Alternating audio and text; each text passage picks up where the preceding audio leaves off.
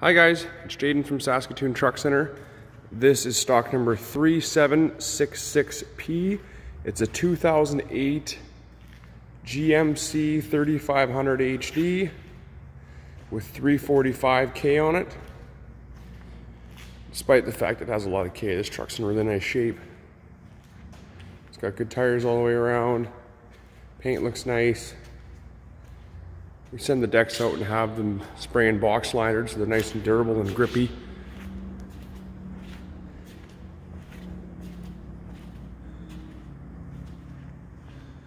It's got a flip up plate in the middle for a gooseneck.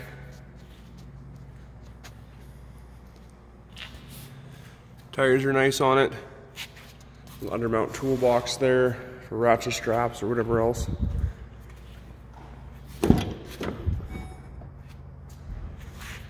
No power options in this guy. Just a regular cab with a flip up seat in the center. Does have air, two wheel drive.